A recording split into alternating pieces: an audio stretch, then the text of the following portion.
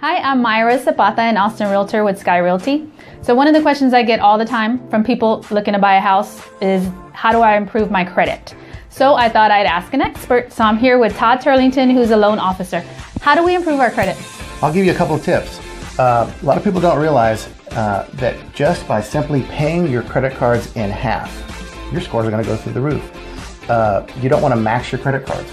Another uh, thing that people don't realize, and they get bad advice on this all the time, is paying a collection off. A lot of people think will raise their scores. No, it usually lowers your scores okay. to pay a collection.